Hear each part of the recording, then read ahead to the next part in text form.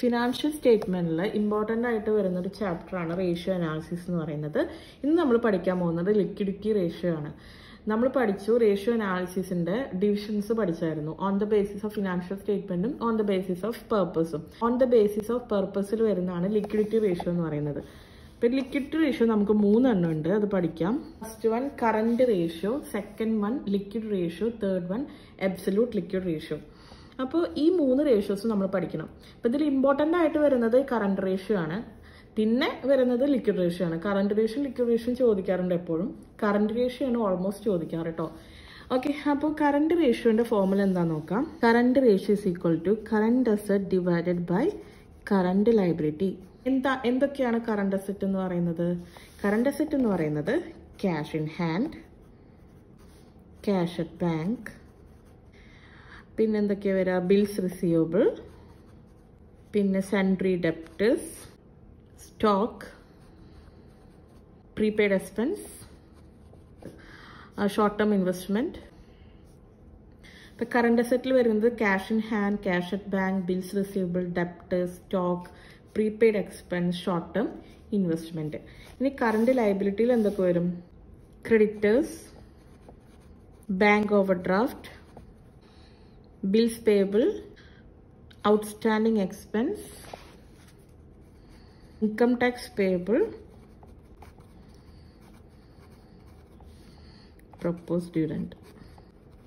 Current ലൈബിലിറ്റിയിൽ വരുന്നത് debtors bank off draft bills payable outstanding expense income tax payable propose dividend അപ്പോൾ current asset എന്ന് പറയുന്നത് ഇതാണ് current asset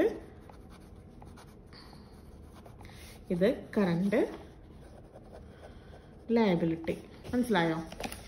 അപ്പോൾ ഈ ഇതിന്റെ ടോട്ടലും ഇതിന്റെ ടോട്ടലും കണ്ടുപിടിച്ച് ഈ കറണ്ട് അസറ്റിന്റെ ടോട്ടൽ ഡിവൈഡഡ് ബൈ കറണ്ട് ലയബിലിറ്റിയുടെ ടോട്ടലാണ് എന്ത്? കറണ്ട് റേഷ്യോ എന്ന് പറയുന്നത്. കറണ്ട് റേഷ്യോനെ വർക്കിംഗ് ക്യാപിറ്റൽ റേഷ്യോ എന്നും കൂടി പറയട്ടോ ഓക്കെ ലിക്വിഡ് റേഷ്യോനെ ക്യുക്ക് റേഷ്യോ അല്ലെങ്കിൽ ആസിഡ് ടെസ്റ്റ് റേഷ്യോ എന്നൊക്കെ പറയും. Liquid asset divided by current liability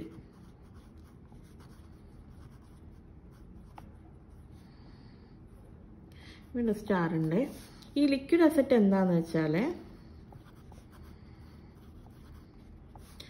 current asset ഇല്ലേ? കറണ്ട് അസറ്റിന്റെ ടോട്ടലിൽ നിന്ന് സ്റ്റോക്കും പ്രീപെയ്ഡ് എക്സ്പെൻസും കുറയ്ക്കുക ഇനി കറണ്ട് ലയബിലിറ്റി എന്ന് പറയുന്നത് കറണ്ട് ലയബിലിറ്റി ഒരു സ്റ്റാർ ഇട്ടിട്ടുണ്ട് ഞാൻ അവിടെ അതെന്താ ഉദ്ദേശിക്കുന്നത് വെച്ചാൽ current liability minus bank O D bank overdraft liquid ratio എന്ന് പറയുന്നത് liquid asset divided by current liability liquid asset is equal to current asset minus stock plus prepaid expense current ലയബിലിറ്റിയിൽ bank of draft include ചെയ്യാനും പാടില്ല.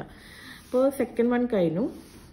ഇനി third one absolute liquid ratio എന്ന് പറയുന്നത് എന്താണ് അതിന്റെ formula നോക്കാം. Cash plus marketable securities divide by current liability current liability not include bank overdraft നമുക്കിനി problem ചെയ്യുമ്പോൾ ഓരോന്നും നമുക്ക് എടുത്തെടുത്ത് പറയാം. അപ്പോൾ നിങ്ങൾക്ക് കുറച്ചും കൂടി മനസ്സിലാവും. ഇപ്പം നമ്മൾ ഫോർമുലാസ് പഠിച്ചു വെക്കാം.